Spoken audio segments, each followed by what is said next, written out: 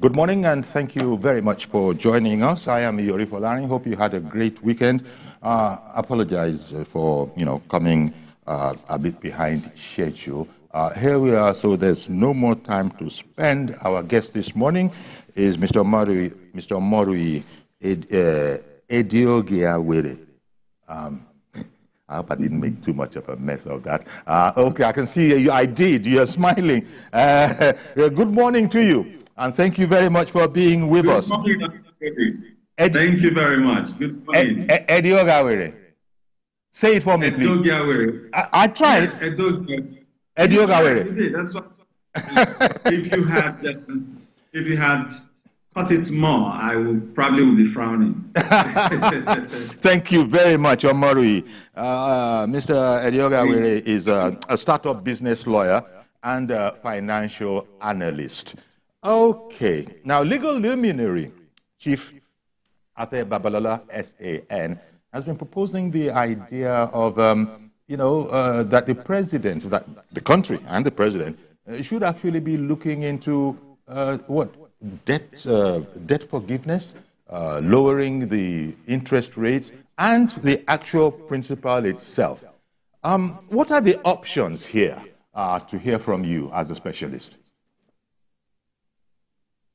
Well, that may be just one way of coming out of this quagmire. Because if you look at the data, uh, external debt stock is um, over the roof, right? Um, if you add cumulatively um, the last request for about $1.5 billion loan, it will be taking our debt stock to over 107 uh, trillion naira in debt. If you look at the budgets, for instance, um, 29% of, um, of revenue is supposed to be used to service debt, while key, um, key developmental sectors of the country and the economy, healthcare, education, um, housing, are getting between 5 and 8% um, allocation. So that tells you that our debt burden is crushing. And, you know, painfully, our external debt grew by um, over over 300% just within 2022 and 2023. You, we moved from 3 billion to 38 billion dollars in, in debt. And so one way of going about it is to deploy the Obasanjo example. Um, yes. Speak to um, our creditors and look, these debts are becoming um, are becoming a Herculean burden and you know, there's there's a way debt becomes so much that it becomes unpayable, and parties now have to sit down and renegotiate and look at look at how to come out of that quagmire. We are in a quagmire. Our economy has very very unique um, challenges that are bedeviling uh, key sectors of our economic growth. So we, we've got to look at data, and you'll find that our external debts are high. And one way of assuaging that is to possibly explore um, an interest freeze because our interest today is about 152% interest. And that's also because over time we have failed to service those um, uh, uh, debts appropriately. And so agreements are agreements, right? A, a popular meme will say agreement is agreement, right? So what the parties have agreed um, will continue to inure until the parties sit back again and say, look, this is no longer feasible. Um, I know that the IMF had released a report to say, look, our dependence on oil has done us a lot of um, damage economically because oil remains oil revenue remains the mainstay of our economy. However, it's a major step back because it's keeping um, our population growth dynamics within a particular um, demographic.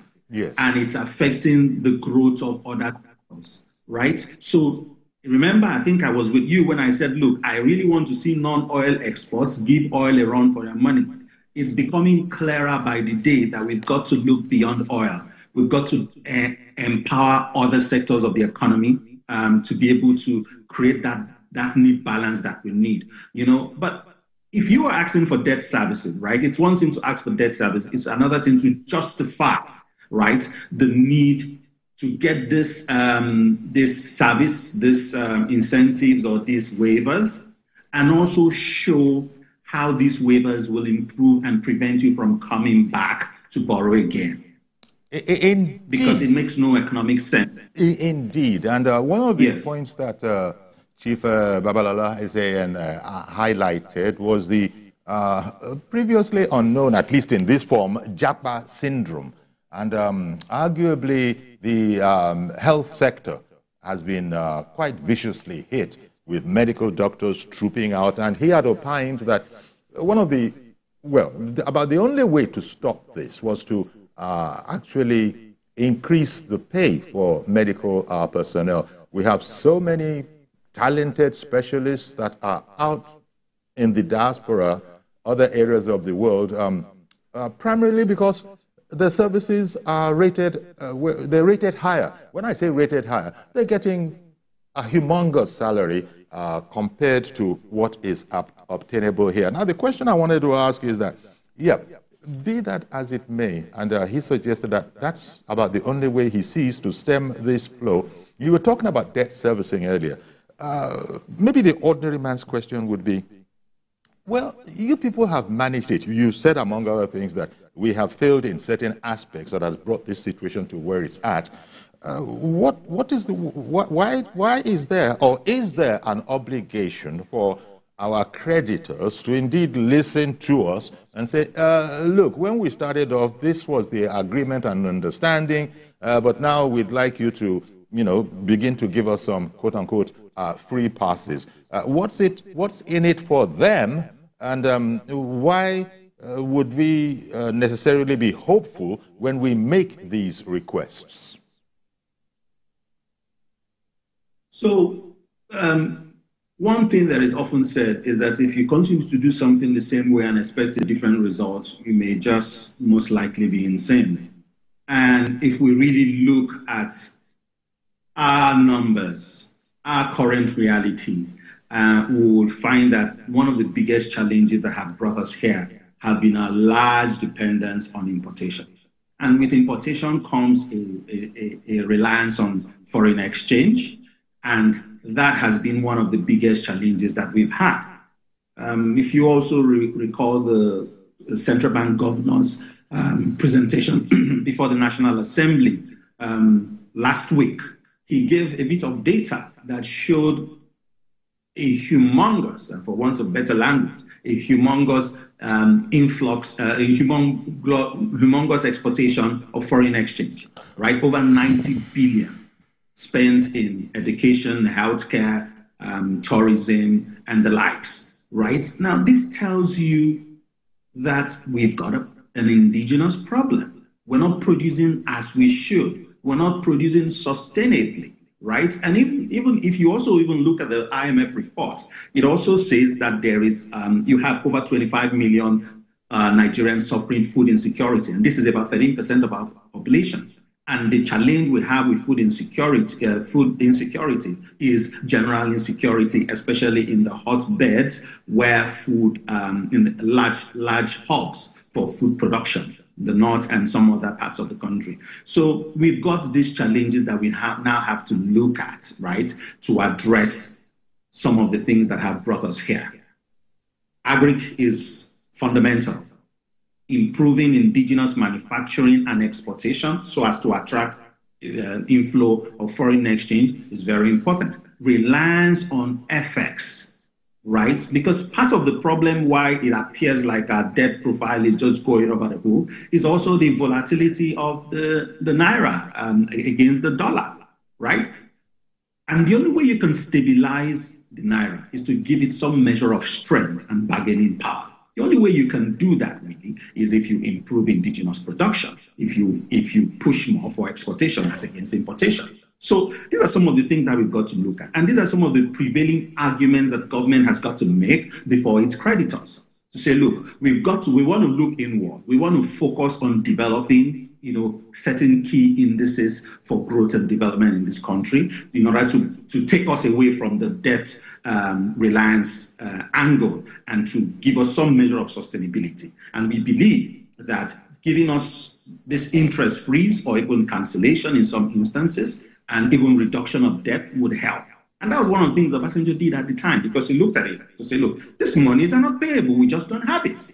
And so he went on uh, uh, on a trip around the world, you know, and having unique conversations with each creditor to say, look, open the books again, let's look. But I assure you that if you give us this incentive, you will find this in our economy. Mm. And so this is a unique conversation that we got to have. I'm, I'm excited to also know, right? And, I, and I'm inclined with his argument. The Minister of Finance is not a fan of borrowing. And he has continued to say that, look, if we want to get out of this quagmire, we've got to look at a reduced um, penchant for borrowing.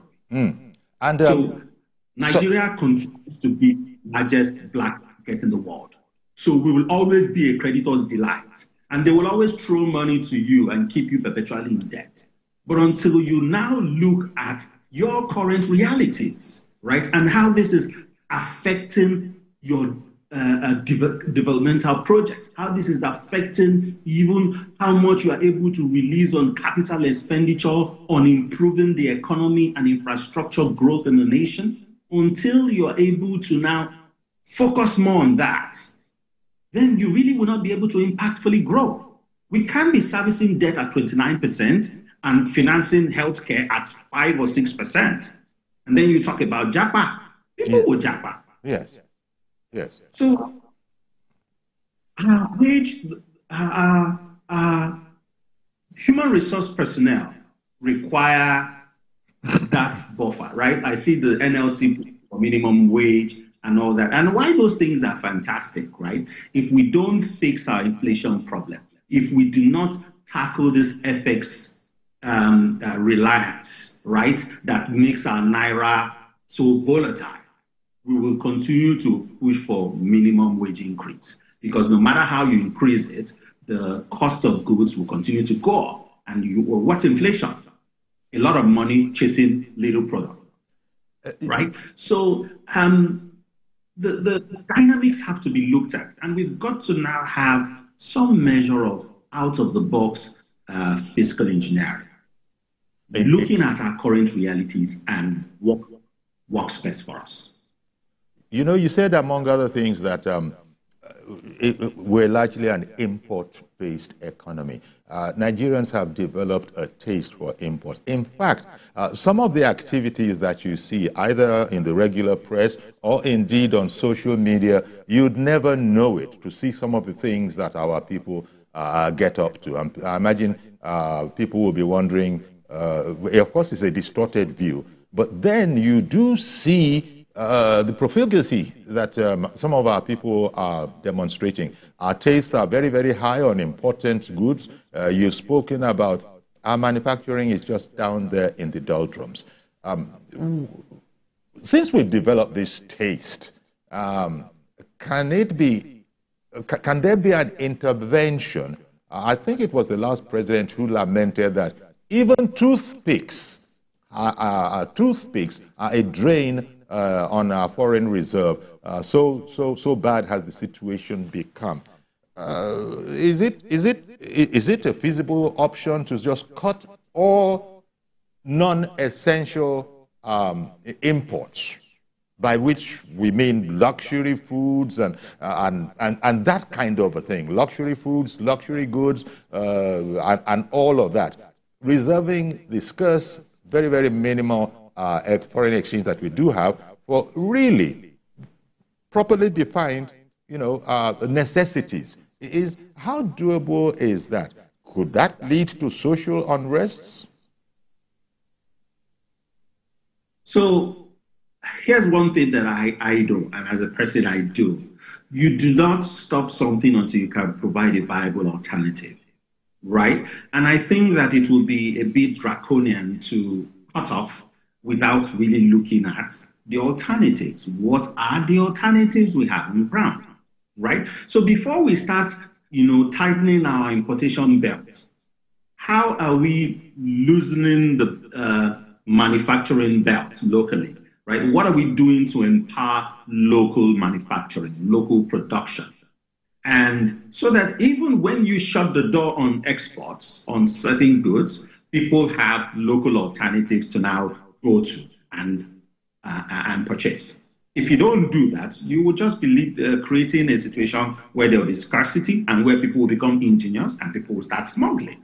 So that will not be an alternative, right? So let's look at focusing heavily on improving the indices of in, uh, um, local manufacturing, power, security, tax, tax rebates, and some pioneer, pioneer incentive statuses, um, certain political will and government support pushed more towards indigenous manufacturers. So here's the thing. You have people who are willing to produce locally, right? But they are competing with people who are importing, right? And they're not able to balance the costs. And that's a challenge because the problem you now find is that I, who have produced locally, have pegged my products at a particular price.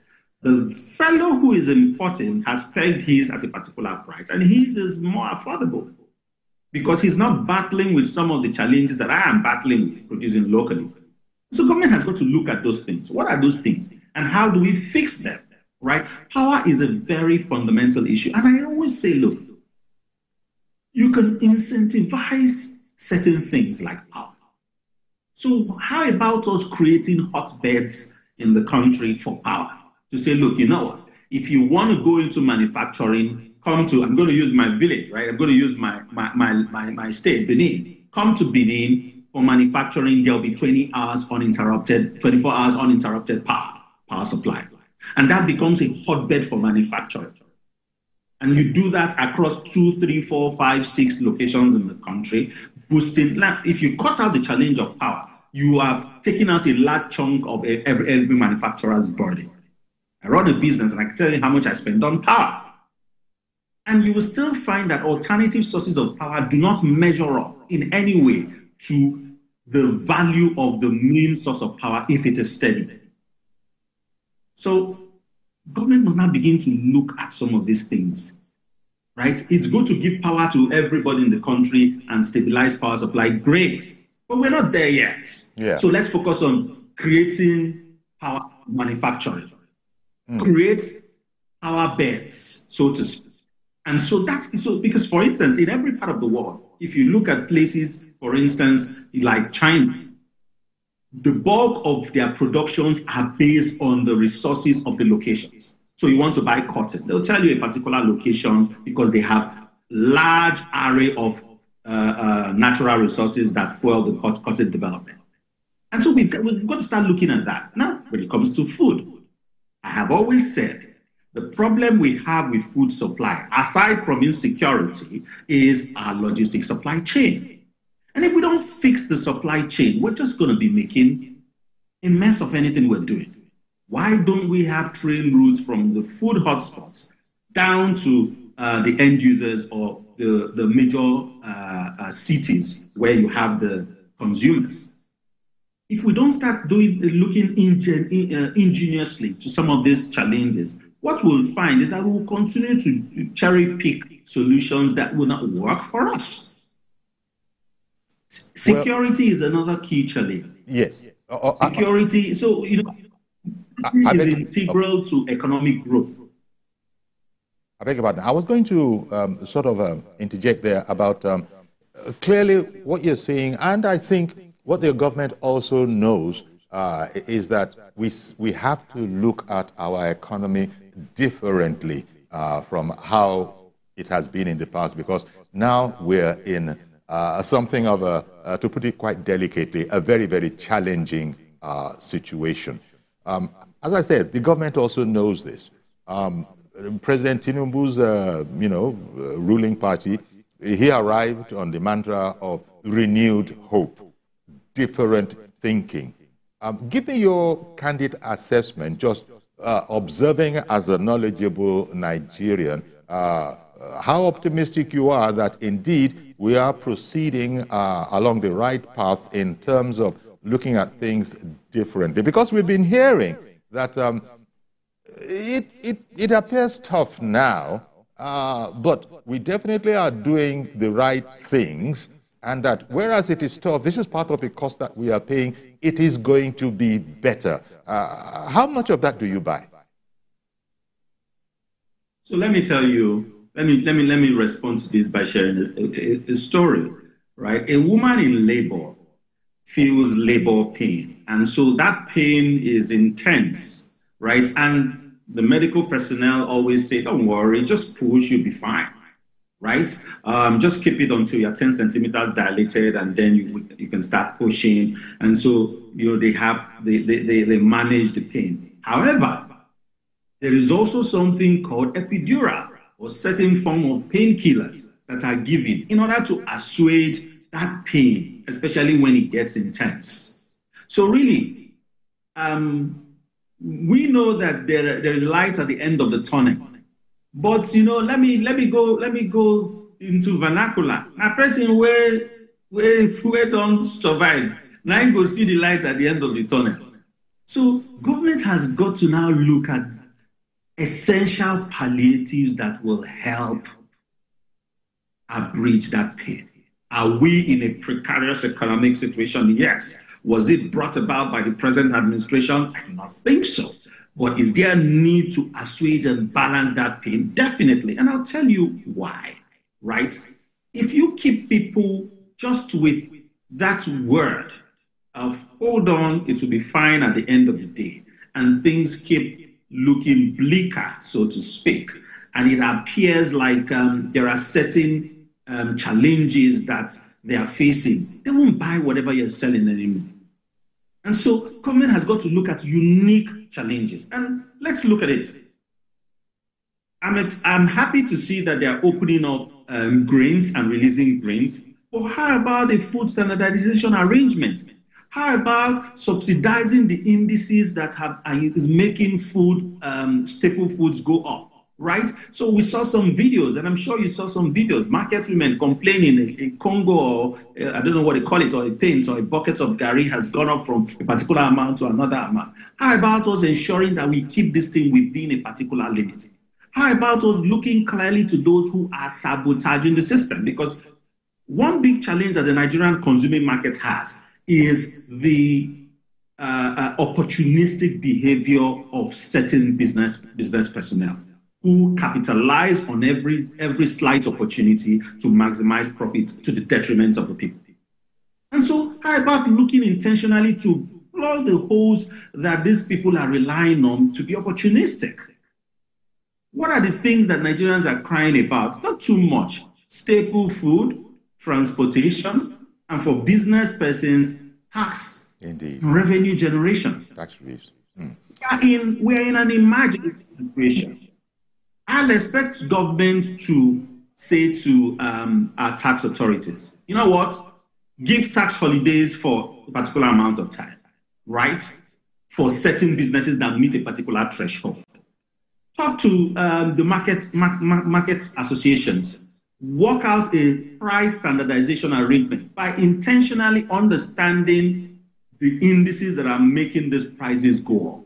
You know, you can, if you really want to be certain Go to the location where these staple foods are being are being are being cultivated and harvested and all that. You will find that there is really no drastic increase in the in, in that in their costs. Yes, they are they're also feeling the brunt, but the increase is not drastic. All right. You know, I tell you what, Omaru, I, I beg your pardon for interrupting you. I'm so sorry to interrupt you, Omaru. I'll, I'll be, we'll, we'll, take a short break now. We'll be right back and uh, we'll continue this conversation and also take uh, perspectives from uh, viewers uh, watching us. Stay with us, please.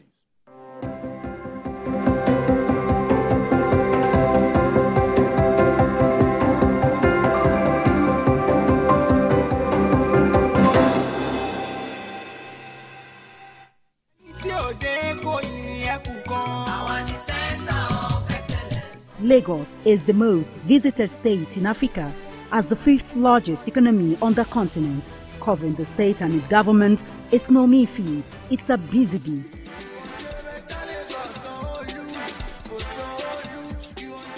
We go beyond the cutting of tapes to traveling far into the deep.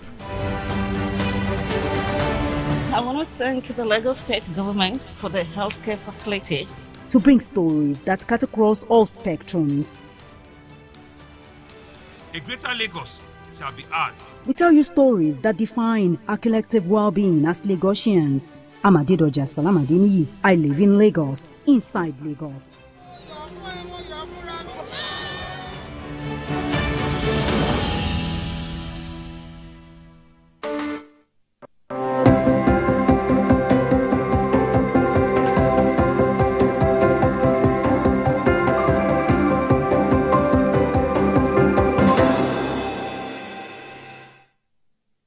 Uh, welcome back. Uh, Omarui Ediogiawere is uh, with us. He's a, a, lawyer and a financial analyst. Uh, thank you indeed for staying with us. Um, we're looking at, you know, the background to the situation in which uh, Afe Babalola SAN uh, has counseled the president to ask for debt relief, maybe even outright forgiveness. Such is the uh, uh, dire straits in which we are in. In fact, so much so that um, no less a person uh, than uh, Pastor Adeboye of Nigeria has said that our, our woes are not just socio-economic.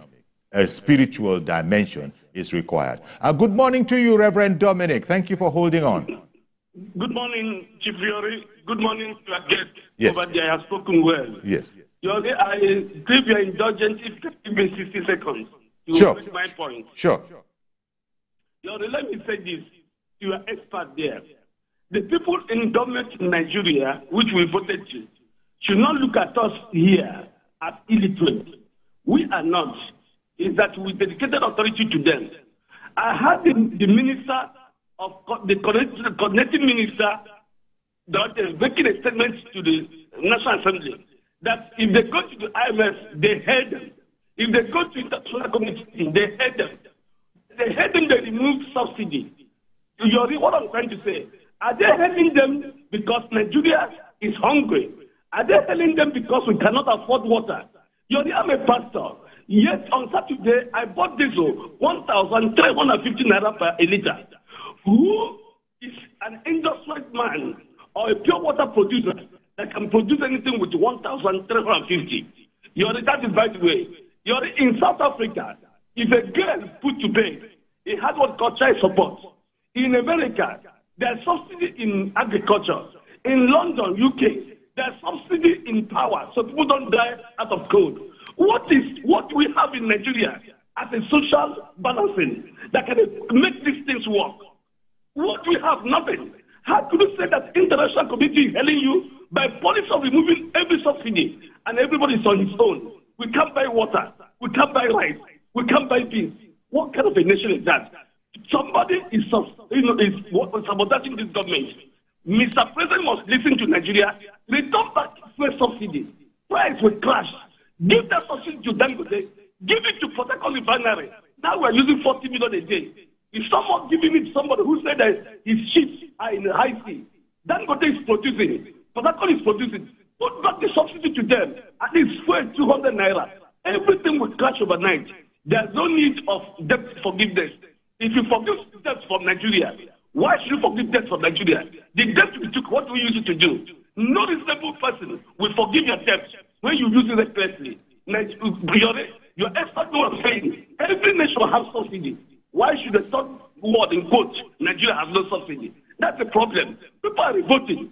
I am a pastor. I'm a local pastor. And people are going through hunger, starvation. In our church, somebody collapsed because of hunger. Something must be must be returned and make it genuinely. Good morning, Nigeria. Thank you very much, uh, Reverend Dominic, for calling in. Uh, Amaru, uh, what would be your reaction to uh, Reverend Dominic's uh, uh, submission, uh, especially when you put it all behind the background of our being told that we can't afford subsidies anymore? So I had, I had said it at, at the onset, and I think I've said it before, that fuel subsidy should have gone uh, because certain people were ripping the country off, and the uh, general commonwealth was going into the pockets of others. However, government also needs to subsidize anything. So the issue is not about subsidy. The issue is about what is being subsidized, okay. right? Okay. And who the end value. And I think that, and that's why I said, look, Staple foods have got to be subsidized. Transportation the, the dynamics around transportation, you will find that if really an audit goes into transportation cost, you find that at least 40 to, to 50% of that money goes into private pockets. We've got to start plugging those holes because it's it, it, that is what is killing the end consumer. And that's the major challenge. Because they'll tell you, for instance, that a tuber of yam is XYZ expensive because of how much it costs to bring yam from XYZ place down to Lagos, for instance. So, how about fixing the challenges and cutting that cost? And then what will now be the justification for that person to, to, to, to, to uh, uh, um, charge XYZ amount for a tuber of yam?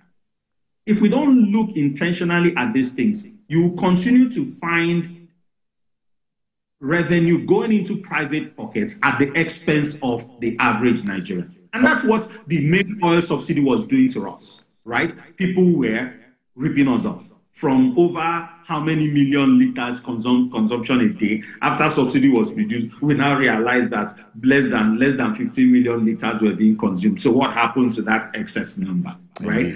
One moment please. Let, let me i beg your pardon. Let me bring george in on the conversation Good morning, Mr. George in, in Ikeja.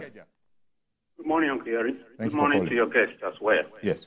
Uh, Uncle Yori, I'm going to take this subject from the perspective of uh, the ordinary man in the street.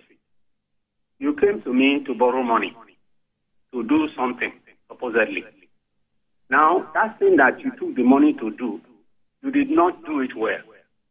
You are not getting results from it you didn't handle it well, and you are coming back to me to forgive you, to uh, to wipe away the debt for you. How do I know what to do with my money? Look at one or two. I don't know how many seconds you can give me. I'll just paint one or two scenarios for you. Nigeria borrowed a lot of money for power. Where is the power today? And we are still crying that we want to borrow, borrow more. We don't block leakages you run a budget of 20, 26 trillion in a year, and you borrow money to fund the budget. Borrowing is supposed to be tied to projects. Where are the projects that you executed in a budget? At the end of the year, we hear that only about 30% of the budget was executed. Yet, the money that was borrowed to run it, we don't know where the money goes. It goes into private pockets block leakages. Go to Borno State on Kiori. Uh, it was only recently I took a closer look at the budget of uh, Borno State. They have hardly had a budget higher, annual budget higher than 300 billion. And is it this 300 billion that this government has been using to build and rebuild and support security for a, a, a, a war-torn state? You go to Borno, you won't believe the structures in uh, Borno far, far better than many other states. Go to Ebonyi. When the woman, the woman was there, he was running a budget of about 200, 220 billion in a year. But we all know how he turned Ebonyi into like uh, the, the, the, the Dubai of the Southeast. What I'm, the point I'm making is when you borrow money, what you do with the money is what counts. Look at our oil, oil, oil revenue. The amount of crude that is stolen in a day is about 50% of the total output. We have not checked that one. This, this idea of uh, debt relief uh, is neither here nor there. I don't think so. Instead of going to be begging, please forgive our debt, we should look at what has happened to the money we borrowed before. How can we get the money when we borrow, use it for what it is supposed to be used for, and make sense. Indeed. Okay, the, the, your speaker said 170 billion dollars. 107 billion dollars has been borrowed over time. Can we show any project that that one, uh, you know, uh, did for the country? We are still we are, we are still in hunger. We are still in uh, no, no light. Yes. No, the, the, the Nigerians are not lazy people. Give them power today. You will see how this economy will just turn around almost magically. We don't have the power, and we have spent the money. Yes. All right. It's worrisome. Let, let the president pay more attention to people stealing public money and block leakages. We will not go to anybody to say, please, uh, you know, help me to uh, forgive my, my, my debt. That's why I agree with, uh, with, with what Reverend said. He said we should bring back subsidy. It's like bringing back corruption. We are trying to say, cut the corruption out of it. We can make, we can still do well with removal of fuel subsidy if corruption is addressed. Good morning. All right, then. Thank you very much uh, for calling in, Mr. George. Well, you know, Omarui, people are actually indeed uh, frustrated. Um, they, they have a situation where we, we have a situation where most people don't feel that uh, corruption is being uh, tackled um, uh, vigorously enough. And um, there are those who are saying that perhaps it's a, it's a sort of um, uh, survival, self-survival uh, uh, mechanism. I'm thinking here of, you've heard the two speakers who have already joined the program saying that abysmal performance when it comes to the use of scarce resources is at the root of our problem. Um, the kind of people that we find in high office that will look at a budget and perhaps, at least theoretically, uh, begin to think of, aha, now what's in this for me? How much can be creamed off? We don't have, perhaps you'll agree, the kind of society that uh, Lee, uh, Kuan Yew's society in, in Singapore where there's a totally radically different approach to um, public uh, to, to governance. Here, uh, we depend on put your hand on the Bible, the Quran, or whatever other book, and swear to, to be an honest person. And very little is done by way of checks and balances, and certainly not very much at all is being done in, in terms of um, you know, uh, accounting for your actions. Where, where is the road out of this, seeing as we are who we are, unfortunately? Well, the starting point is to have an impact assessment. Um, they often say that a Nigerian adage says, if you don't know where rain started beating you, you won't know where it stopped. So we've got to look really at what has brought us this far. Why, uh, why are we in the mess that we're in? and let's look at let's look at an impact assessment of the loans that we have collected. And I believe that that's one of the most important things that this government should do an audit, right? So it's not just CBN that needs this audit. Our debt office, we need to look at our data and how much we got it, how much went to the project, how much was lost in the pool of leakages, how much now. Some assuming we have such data. Assuming we have such data, right?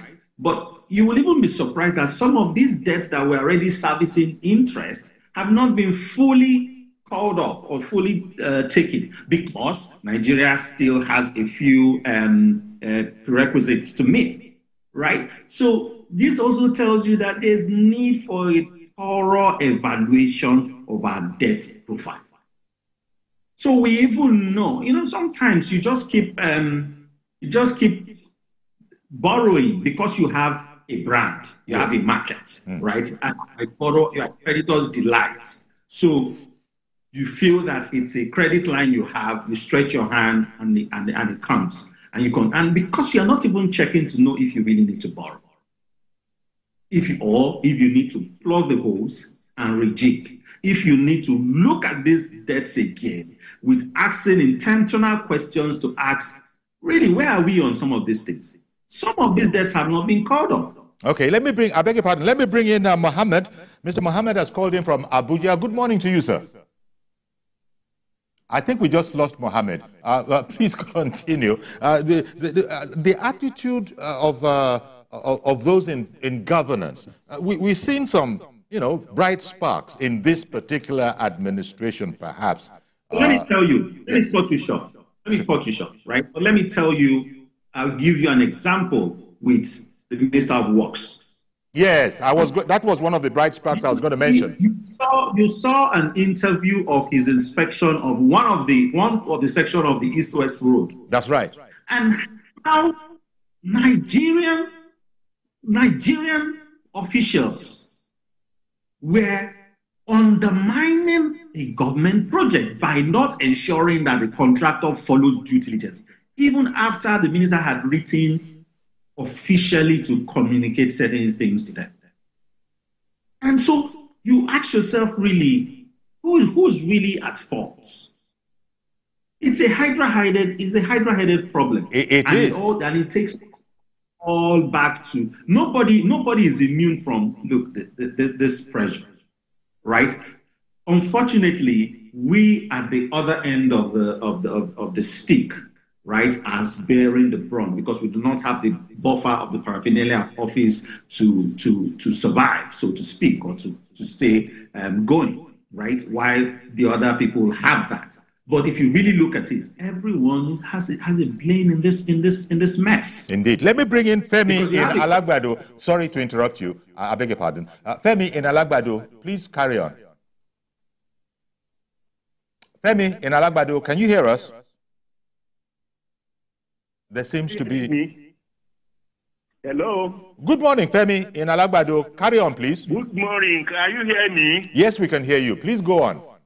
Okay, then. Good morning. Good morning. I the well, I'm over seventy now, and uh, when we were going to school in the early days, they told us that uh, we are doing subsistence farming instead of mechanized farming, and um, my children have been taught have been taught the same thing. My grandchildren have been taught the same thing. Why can't we make some changes?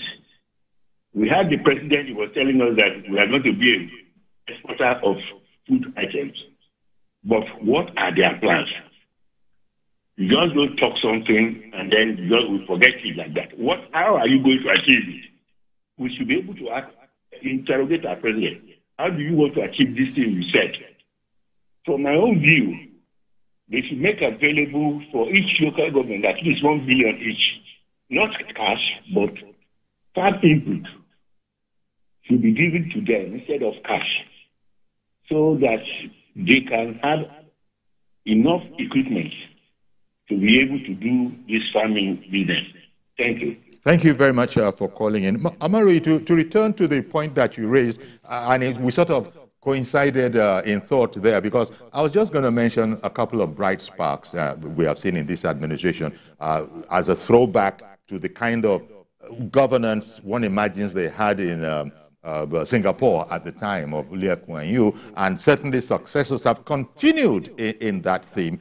Um, arguably, we don't have anything remotely resembling that apart from the bright sparks. Uh, perhaps the uh, Minister of the Interior might have been another one who suddenly, before our very eyes, was doing magic, where people could, you know, uh, he cut down, you know, time on, on how you get your documentation and all of that, and people from around the world began to call in. Um, uh, might it be, uh, I, I guess it partly is do we have round peg in round round pegs in round holes? Uh, people who actually know what they're doing and can do the president's bidding. I think that one of the bane that has been um, an albatross for, for governance in Nigeria is that many government decisions are taken with a political standpoint and political undertone. With the next election cycle around the corner in perspective, as against taking decisions that are necessary at the time. And I think that that's one of the things that the Tinubu administration must not get um, immersed in. Decisions must not reflect um, or must not envisage the next election cycle, but must look at what is fit for us at this time, right? And I'll say, I'll say, uh, uh, uh, the last speaker pointed out the challenge with agriculture, and it's it's all us not growing as we should and deploying the right growth. So I'm a lawyer, and I will even tell you that even the legal education curriculum is outdated. And so, so, so with a lot of our academic curriculum, we, we need to look at it again and begin to change certain things. We're not training people who will be fit adequately, emphasis on the word adequately, to compete in the global markets. And that has got to be fixed. Now, having round pegs in round holes is should be a given. It shouldn't be something that we should even be thinking about. And we've seen it clearly with the Minister of Works, and how he's able to intentionally query and question certain contractual decisions that were undermining federal government projects. And if you look at the amount of disbursements that have gone to contractors who have failed to meet their end of the stick, you will now realize that it's not just government and government decisions that are affecting us, but also there are also other players who appear to be undermining the progress that we, we, we seek. In other words, so, they're continuing business as usual, even though it was the preferred position of the president that it's no more going to be business as usual. Um, uh, we've almost run out. way you can have business as is where you have ministers and active implementers who understand what they're doing right? So if I were the Minister of Works, right, I may not be able to question some of the things that are happening because I don't have the technical knowledge to do that. Yes. It's so important that those and, and the helm of affairs actively take time to feel the pulse of the end user, the citizens. And, and, and, you're talking of Lee Kuan Yew had unique ways of understanding what the populace was going through and turning that into um, making government policies around their pain points. Even though some of those things were also strict, but at the end of the day, it addressed the pain points decisively. Nigerians, Nigerians want some, some breather. And if they really see an intentional approach to this, they will align. Indeed. Um, the Minister of Interior is not is not a super, yes. right? But he did something that had been heavily us for years. But also, I'm, I'm a, I, I, I play in the startup space, so I understand technology very well. My challenge is if even when we're doing this, do we have the technological strength to ensure its sustainability? So, what's our digital economy looking like? Luckily, we have a minister who is a player in that, who was a private sector player in that space and understands the challenge of the private sector. But if we really do not do not rely heavily on technology, even things like farming, right, that we still are doing the old school way, will not improve to give us the results we want. Well, we're, we're going to have to leave it here. Uh, Marui, I, I, I, I, beg your pardon. We've completely run out of time. It's been an ex- exciting time you know, uh, leaning on your insights and your knowledge and uh, your analysis as well. Uh, couple that with um, some of the comments we've got from our viewers. Uh, we still we see that we still have a lot of work uh, ahead of us, and um, I guess we can only trust on the um, uh, intentions and sincerity of the government to take us to where we need to be. All of this against the backdrop of whether or not Nigerians, Nigeria should be seeking debt forgiveness. I want to thank you very much, Omarui uh, Edioge Awere, uh, for coming on the program this morning. Thank you very much. Thank you for having me and have a good day. Indeed, same to you. Our pleasure. Okay, that's our program today. Do please join us tomorrow for a fresh edition. I am Yori Folarin. Bye bye for now. Bye.